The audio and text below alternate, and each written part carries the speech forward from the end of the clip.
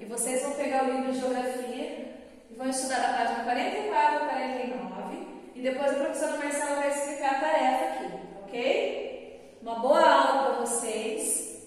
Tchau! Bom dia, pessoal. Tudo bem? Hoje o assunto vai ser para a gente fechar a, o conteúdo sobre leitura e interpretação de mapas e os tipos de mapas, tá bem? Então nós vamos lá na página 44 ver um curto textinho que tem e também fazer a leitura correta da legenda, porque vai estar tá introduzindo algumas informações importantes, ok? Mapeando o uso das setas nos mapas.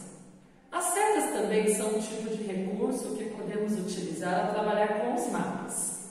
De modo de maneira geral, elas representam algum tipo de deslocamento. Pessoal, deslocamento é a ideia de estar no ponto e ir para outro ponto do mapa. Esses deslocamentos podem ser de pessoas, de recursos minerais, de alimentos ou de produtos industrializados. Observem aqui, pessoal, esse mapa, a legenda, ela traz ali a referência do ícone de seta e aqui ela está querendo dizer que essa seta representa rota de expansão de pecuária. Então aqui ele está querendo trabalhar sobre a economia, a atividade de pecuária na, nessa região aqui do Brasil. Também podem representar deslocamentos de atividades diversas, como a expansão de áreas da pecuária. Observe o mapa a seguir. Título do mapa, pessoal, que é um elemento mais importante. Brasil, atividade pecuária no século XVII. Aqui tem um algarismo romano que representa 17. Então, ele vai estar estudando aqui a expansão, o que é o crescimento da atividade da pecuária no Brasil neste período tá? Aqui eu tenho também uma referência importante na legenda, que é o ponto, esse pontinho aqui que representa cidades. Então aqui, toda parte do lado direito, aonde eu tenho aqui o Oceano Atlântico, é a, a linha litorânea, é a zona litorânea do nosso país. E aqui nesses pontinhos pretos são as cidades. A linha azul representa os rios e ela está distribuída em todo o mapa. Essa linha vermelha, pessoal, é o meridiano de, Tratado de Tordesilhas. O Tratado de Tordesilhas é um acordo, pessoal, que nós vamos ver afinco toda a explicação sobre período foi criado, na época das grandes navegações que era um acordo feito entre os países da Espanha e Portugal. Hoje nós não vamos entrar nesse assunto, que é um assunto da disciplina de História, no final do nosso livro, tá? E agora vamos lá, temos a fonte, eu estava esquecendo de falar da fonte também, que esse, esse mapa em especial foi tirado lá do Atlas Histórico Básico, são Paulo, da editora Ática, no ano de 2007, e é a página 38, ok? Vamos agora para o segundo parágrafo do texto, na página 45.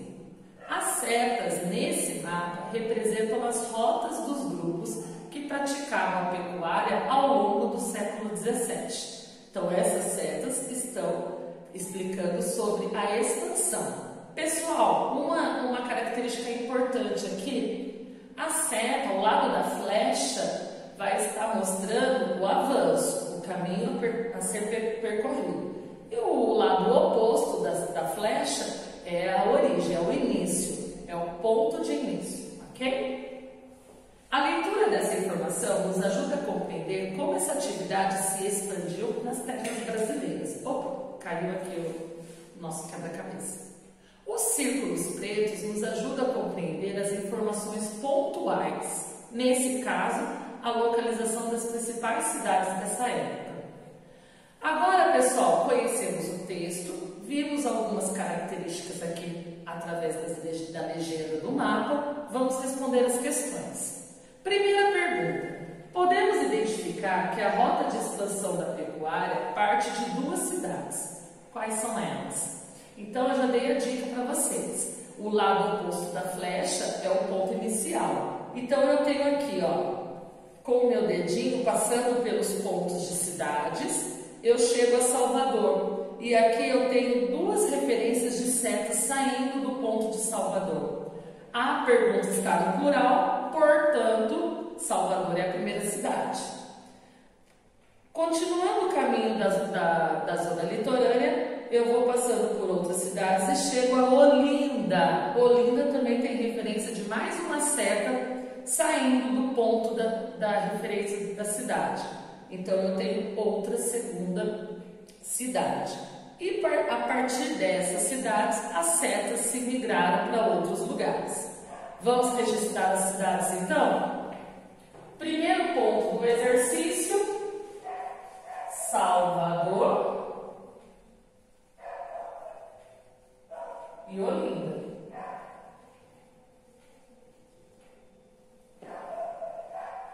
Certo? Pessoal, o mapa que está aqui colado na lousa é o mesmo que está ali na página 44. Segundo ponto, um dos fluxos da pecuária, no período indicado no mapa, seguiu pelo litoral. Por quais cidades seguiu esse fluxo? Então, olha lá, pessoal. Aqui, Salvador veio para o interior do, do país.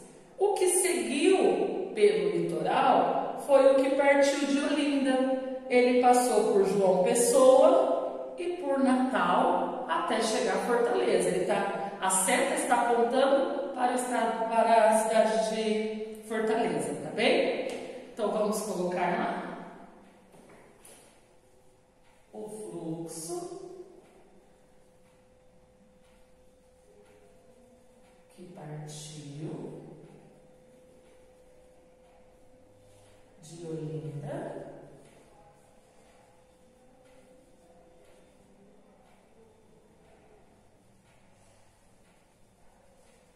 Seguiu pelo litoral, vírgula,